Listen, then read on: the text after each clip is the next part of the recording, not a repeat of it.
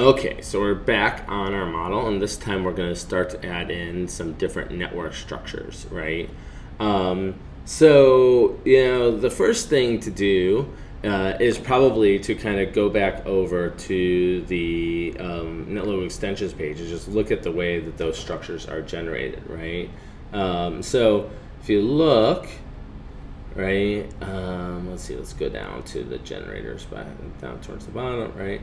So, um, one thing we can obviously, one of them is called generate random. That's something we're already doing. So let's take a look at that one first, just because maybe we can recreate what we were already doing, right? And if you look at it, it says NW generate random is going to take a turtle breed, a link breed, the number of nodes, right? Um, the connection probability, and then an optional command block. And an optional command block is just, you know, the same thing as when you do the create 100 or whatever, and you create it. And by the way, you know, for all extensions, you preface them with the extension name. So this one is called NW, right? And so we have to preface it with that extension. Um, and so then when we call the command, we do NW colon generate random. In this case, the turtle is length 100 set color red, right? So let's see if we can get this up and working uh, since it's basically the same thing that we were already had going, right? So here we have our network, our model again. And the first thing before we can do anything for once we start working with extensions, we have to call, we have to tell NetLogo we want it to load the extension. So at the very top, we put the command extensions, and then in the brackets, we put NW, right? And you can check to see if it's loading correctly, and it seems to be fine, right? Because it's actually finding it, right? And so now we want to um, replace, like we said, the current network generation with that one. So we have the network generation down here. We can comment it out for now. We probably want to eventually delete it the way we were doing before. And what's interesting, right, is that when you when you use these generate network commands, they actually generate the whole network with the nodes and everything, right? So it's almost like you're doing the create 100 or whatever. Create in, in this case, the command is uh, create num agents, right? So we can get rid of this create num agents now, and you know, probably a good way to do that is just to comment everything out. Just uh, you know, eventually we'll delete it, but um, for now we'll just comment it out. Um, and now we can go up and we can say nw generate random, which is the name of the command that we're going to work with. And it needs the turtle breed, which is going to be turtles, the link breed, which is going to be links, and then the, the number of nodes, which is the number of agents, right? And the density, right? The, the probability of connection. Now before, right, we just had it like one node, but here we actually specify a probability, so we can say like 0.1, and what that means is that roughly um, each agent will be connected to 10% of the other agents in the network, right? Uh, so we can do that, and then just like in a create 100, we can also add in these brackets, right? And we can put all of our standard commands in there, right? So we can kind of go back to what we had before and just cut and paste. So we can paste in our, you know, set the adopted to false. Uh, we can paste in the the um, uh, there we go. The um, set xy to a random coordinate, right? And we can, you know, paste in our kind of appearance setup that we had, right? So we can paste this in as well, right? And now let's first of all hit the check button and see, make sure we wrote everything. Looks like we did. So let's go ahead and hit setup and see what happens. Oh, and it seems to work, right? Now nowadays, now there's more nodes than you would expect, right? Or sorry, more links than than we had before because the density is a little higher than it was before. In fact, if we can say count turtles, right? There's 50 turtles, and we can say count links, and there's 121 links, right? Now, if you think about it, the way random networks work, right, is that there is um, uh, it, there's it, 10% means that 10% of all the possible links exist, right? So the number of links that can exist, right, is 50 times 50 because every um, net node can be connected to every other node except for itself. So 50 times 49 technically, right, which is 50 times 49. So that's 2450.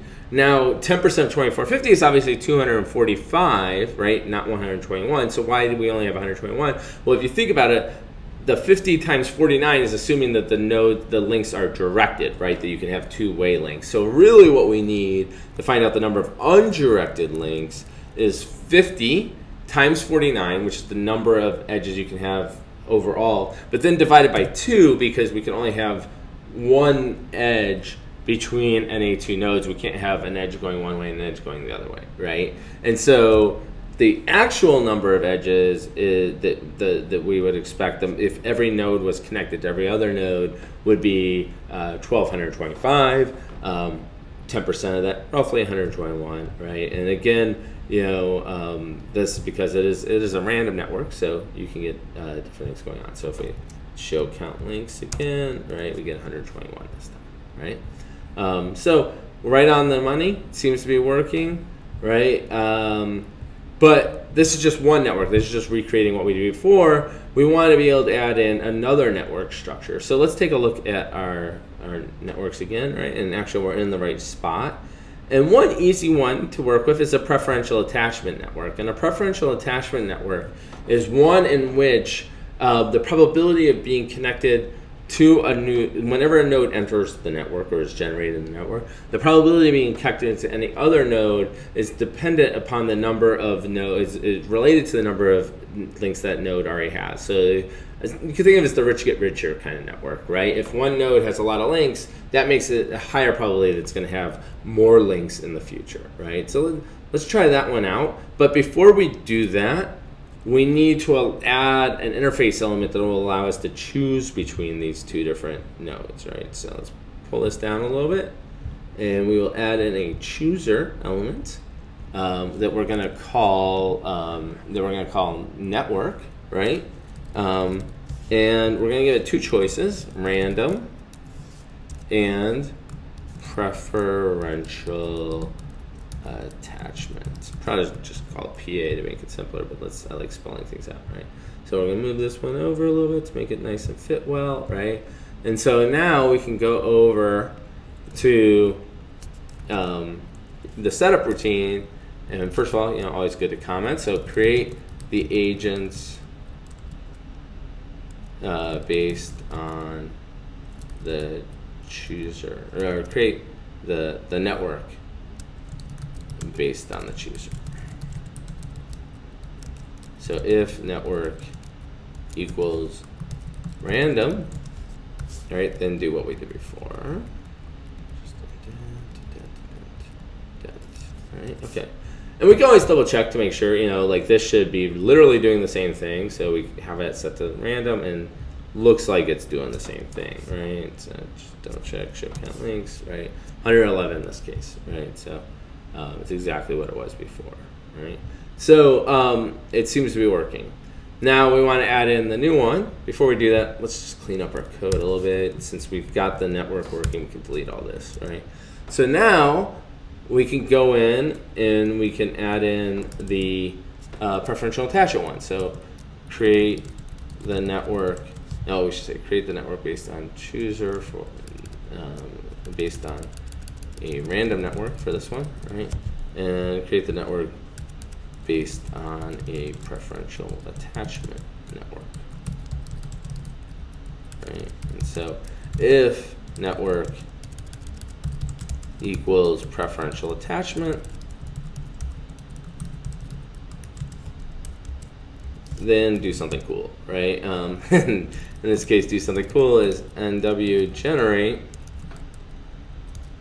preferential attachment, right?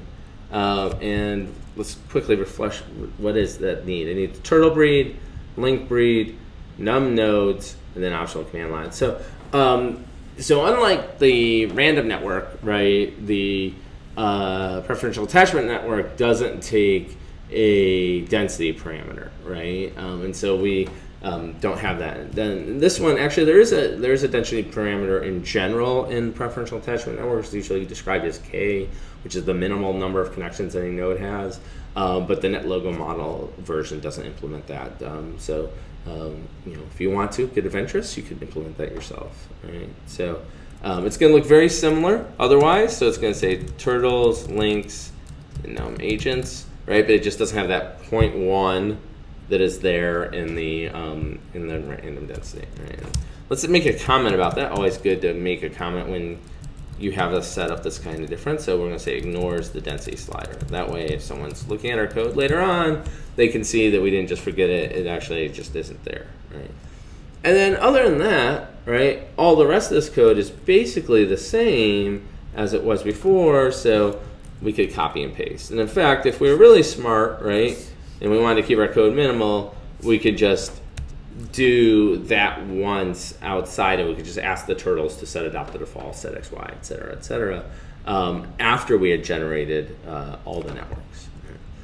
But let's double check to see if this works. First of all, looks like it's grammatically correct, right? Syntactically correct. So now we have our random network, right? And then let's see if we get a preferential attachment network. And sure enough, you can see that, you know, obviously from just looking at it, right?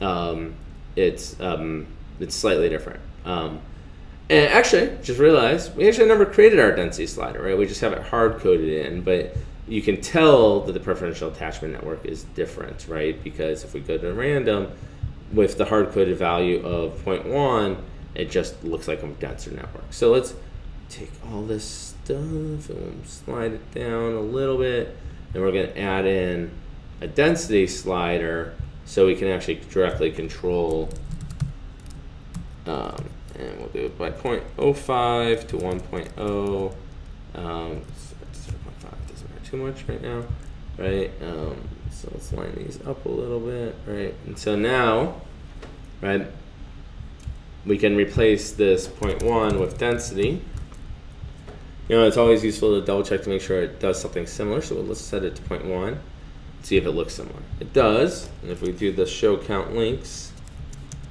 right, it's roughly equal. Right? So that seems to be working. So now we have a random network that has a density slider that allows us to control the density of the network. And one other way to check it is let's if we increase the density slider, what do we expect? We expect there to be a lot more links, and sure enough, it looks like there are. And if we go down here and verify it, there are, right? Now, as I mentioned, you know, when we built the preferential attachment, it's ignoring that density slider. So as you can see, even though the density is high, um, we're only getting 49 links, right? Um, and so it's kind of a, a quick way to double check to make sure your code is all working properly. Now, you know, one of the nice things about a preferential attachment network is it should be forming kind of a hub and spoke type structure, right? That's one of the kind of hallmarks of preferential attachment. But we can't see it right now because our agents are kind of scattered all over. So one thing you often want to do when working with network structures is add some code to kind of lay out the network structure a little bit better. And there's a bunch of uh, commands um, that are built into NetLogo to work with Springs. And these aren't part of the network extension, these are just standard uh, commands. And so one of them, for instance, is called layout Spring. So we can look it up in uh, you know, Google real quick. Um, and you can see that it's going to arrange the turtles where basically we, the kind of the idea here is that the links are springs and it kind of positions them accordingly uh, based upon that, right?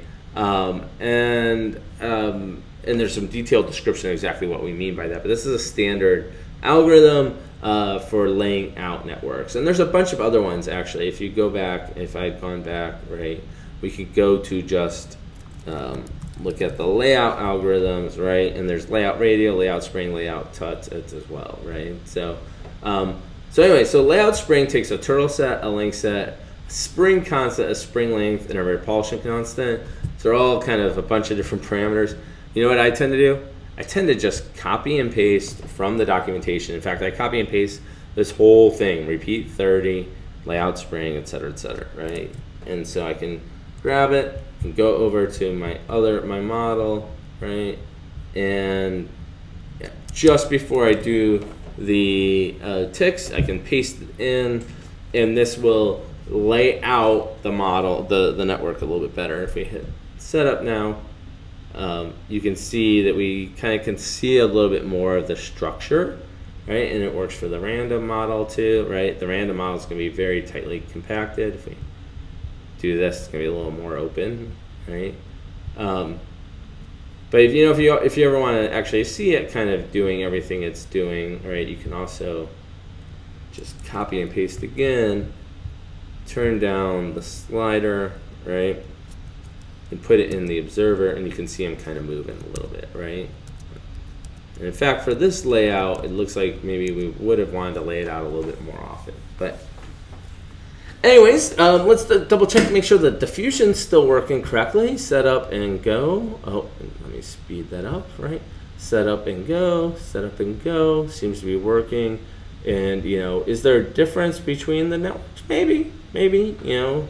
I've got the densities roughly similar. It's a little bit slower for the, well, we can put the density down for random, right? Um, oh, so this happens every now and then, and we'll talk about that, but uh, this is kind of a nice little error dimension.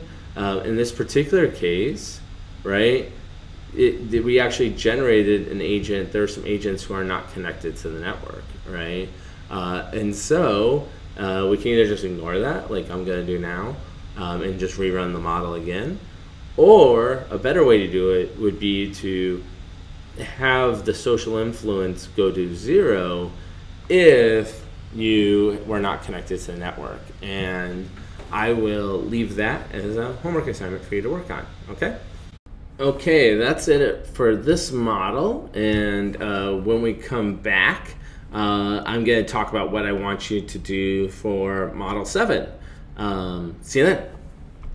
So in Model 7, I want you to extend the model again and this time I want you to create new types of agents in the model, right? So in the current model, they're basically all agents are the same in terms of their behavior. They do the same things. But what I want you to do in model seven is to create a new type of agent called an influential, right? Now you can think of, you know, there's a standard kind of view that there are influentials and imitators when it comes to in, uh, diffusion, right? Um, especially innovation diffusion. Uh, and so what we're doing is we're kind of adding in this influential notion, right?